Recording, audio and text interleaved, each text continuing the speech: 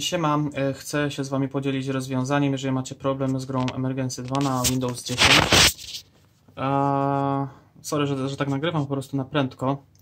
Eee, jeżeli na przykład nie umiecie zaznaczyć jednostek e, i zawsze musicie tak e, mm, tak je zaznaczać, albo po prostu musicie gdzieś klikać tutaj niż niż po prostu e, wybrać tą jednostkę, Tak jest. albo po prostu no, celujecie w środek, a po prostu nie ma tego, tak? Zależnie gdzieś jak, jak czy sobie przybliżycie, czy nie. E, Tak. na przykład, nie, no nie umiecie trafić, nie? Na przykład, no go kurwa teraz zaznaczyło, nie? Już się robi, już jedziemy.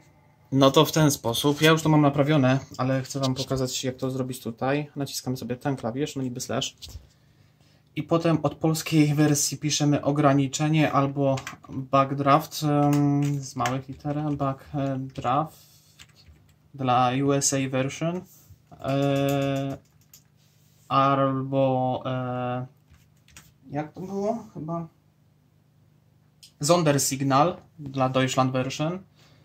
Sondersignal. E, A dla PL version e, Polish, czyli e, będzie to ograniczenie, nie wiem czemu, ale tak akurat wyszło. Pojawi się nam taki uśmieszek and it works e, if we have the smile and e, no to sobie napiszemy e, e, set e, color e, D. 32 and uh, you should to pick enter and uh, da.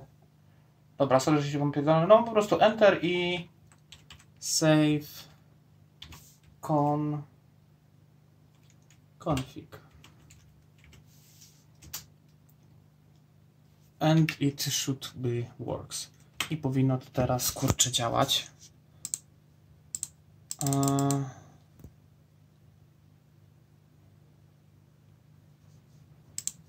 no. Bez problemu teraz.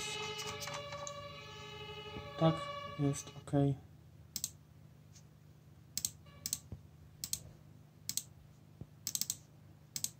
to powinno tak wam działać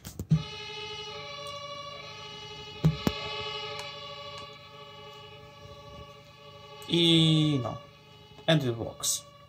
So uh, the keyword it depends of the uh, your language version. In the USA we have backdraft. In the Deutschland version we have Zonger, uh, Sonder, Sondersignal, Sondersignal.